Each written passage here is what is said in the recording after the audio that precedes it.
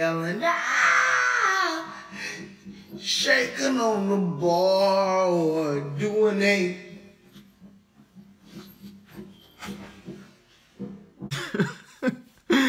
what did we just watch?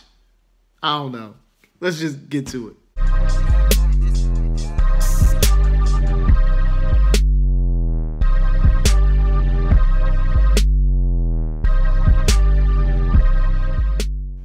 What's going on? It is that time. That time to get a little bit of perspective in this motherfucker.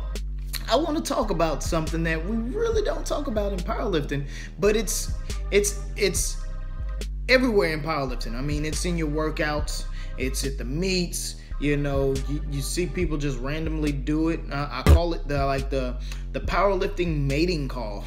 so, um, what I want to talk about is routine. What is routine? Routine is a sequence of actions reg- regularly followed. Is it important?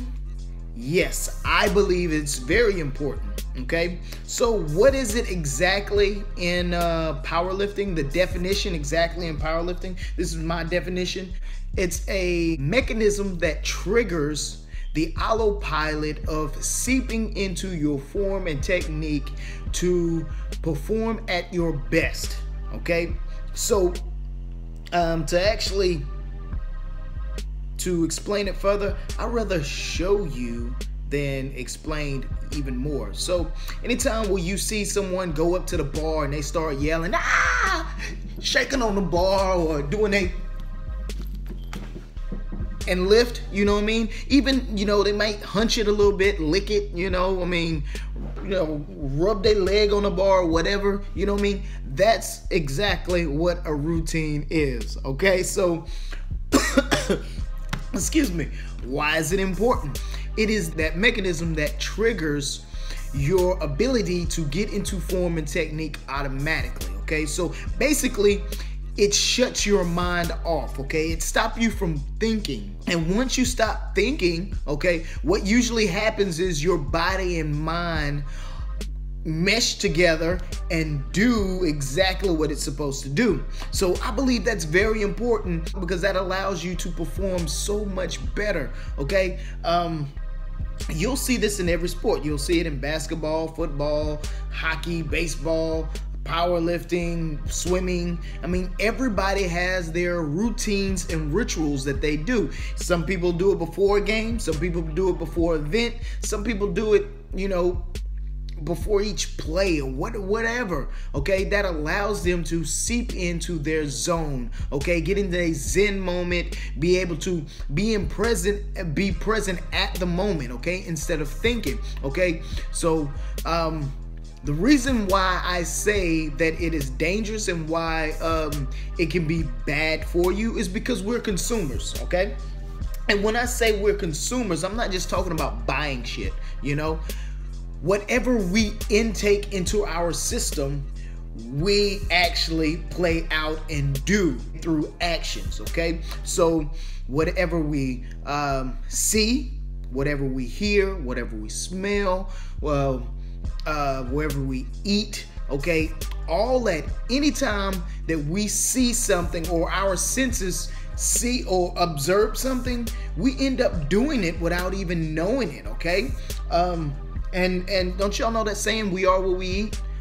That shit's true. It's it's true. So, uh, to give you an example, anytime where you eat bad, you're gonna have some type of attitude. So, you're either gonna be uh, always upset, depressed, angry, aggressive. Um, you can even be happy, you know, joyful. I mean, it just depends on what you eat. Whatever you eat, you actually play out. Whatever we hear, we actually play out. That's why music is so influ- influential, okay?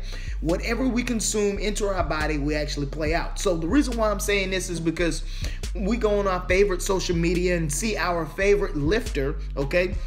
And they got a bunch of weight on the bar and they do their little ritual and routine, we say, oh man, that was cool how they set it up. Automatically, it's going on in our head and we see it, okay, and we we literally going to mimic it without even knowing it, okay.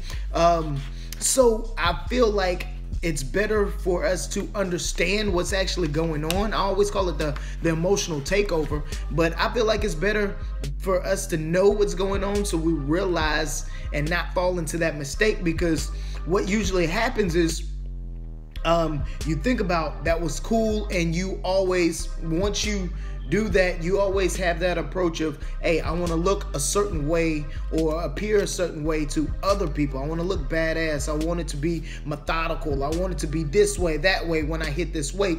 But what you're actually doing is thinking about what you're actually going to do before the lift where as in that time you should lose yourself and stop thinking allow the body to actually be um, uh, prepare itself for the actual moment, for the weight, without even thinking, because it plays in, it automatically goes. And those root that routine automatically it should work.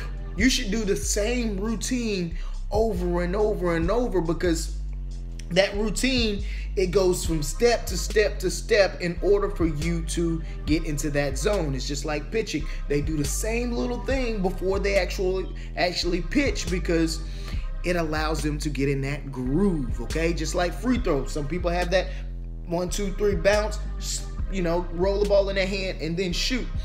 That allows you, again, that allows you to get into that form and technique so much better.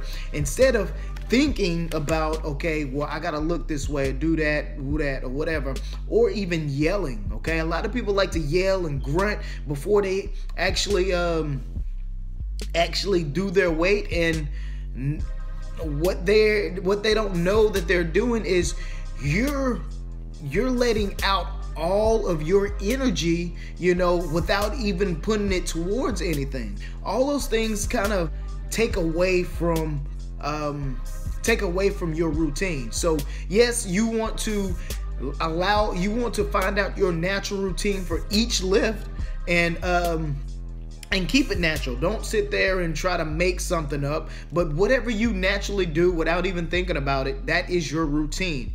Do that and you'll be good. So, that's my thoughts on routine. That's something that we never really talk about, but I believe it's so important. So, I hope this helps out a lot of you guys. Um, and allow you to get into your form and technique and become a better lifter through that. So please don't sit there and make up your powerlifting mating call. Just let it come to you and then you will attract the weight, okay? So, see y'all guys later. I'm out.